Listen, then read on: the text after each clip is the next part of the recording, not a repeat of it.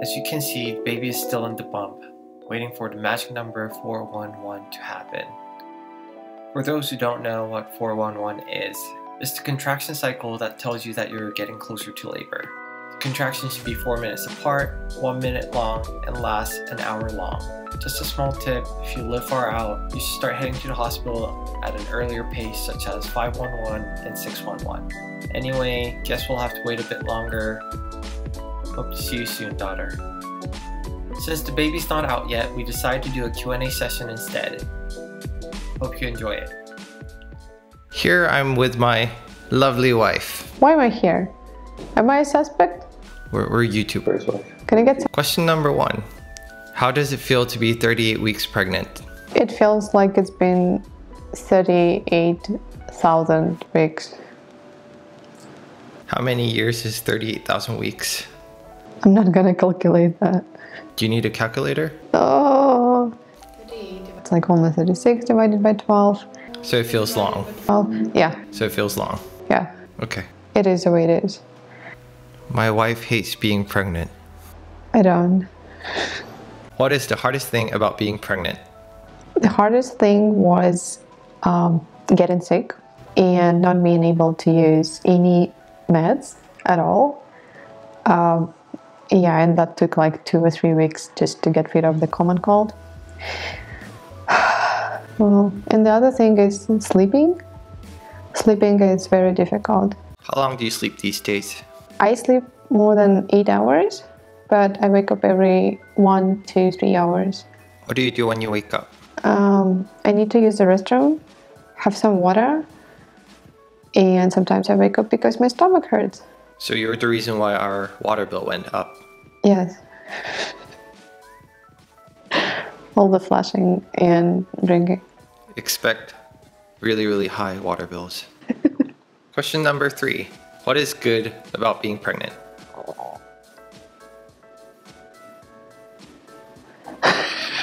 It turns out that there's nothing good about being pregnant. Well, there is a lot of excitement in the beginning, and and then uh, fatigue and uh, morning sickness kicks in, and then you forget about all the excitement, and then you have this wonderful second trimester, which is really good, and you're like, yeah, I'm pregnant, but I can do stuff. And then the third trimester comes in, and you're like, oh no, I'm pregnant, I cannot do stuff anymore. So it's um, well, you get to you know make a human being.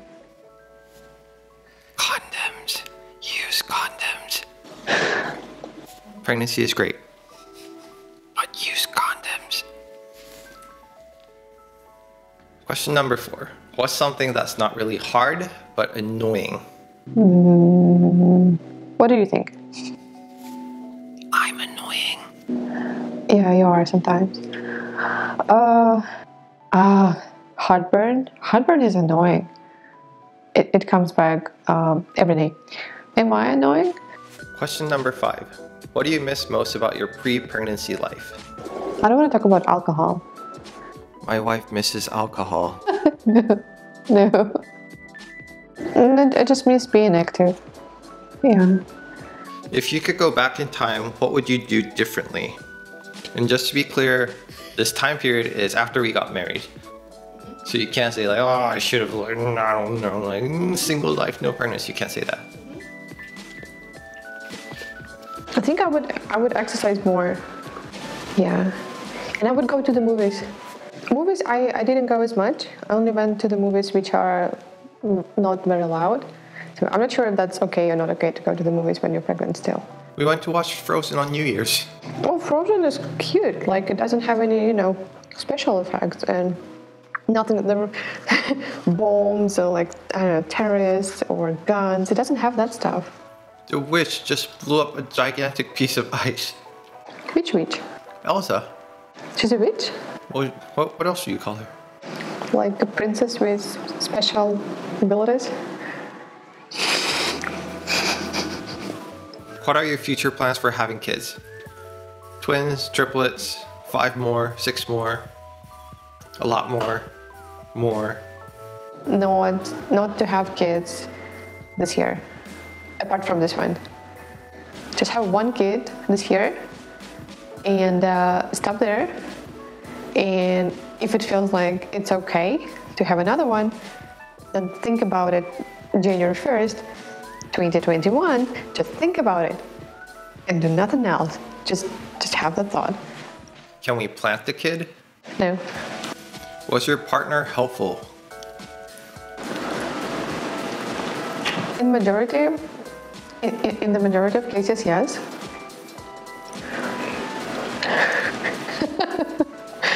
Can I leave it there? I was awesome.